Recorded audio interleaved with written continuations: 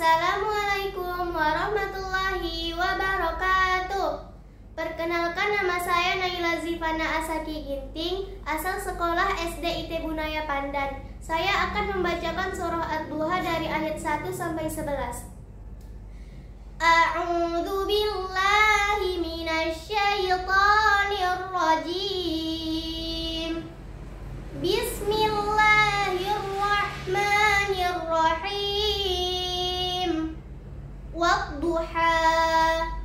Wal laili idza saja.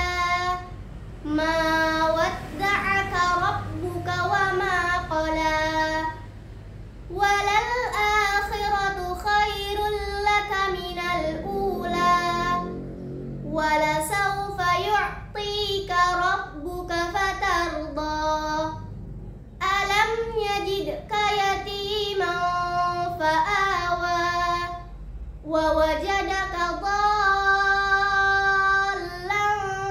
فهدى. ووجدك عائلا فأغنى. فأما اليتيم فلا تقهر.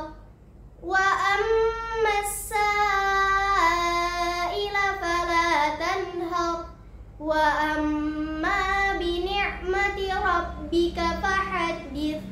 Sadaqallahul azim. Assalamualaikum warahmatullahi wabarakatuh.